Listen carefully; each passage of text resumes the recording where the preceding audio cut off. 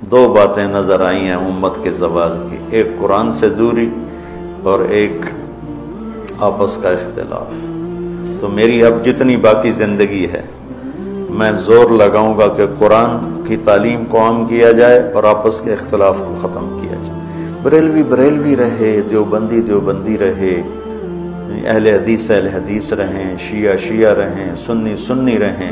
और आपस में प्यार से रहें। ये ज़्यादा बेहतर है कि एक दूसरे के गरेबान पकड़ रहे हों और एक दूसरे पर गले फाड़ रहे हों और एक दूसरे की जान के प्यासे हो गए हों। यही बेहतर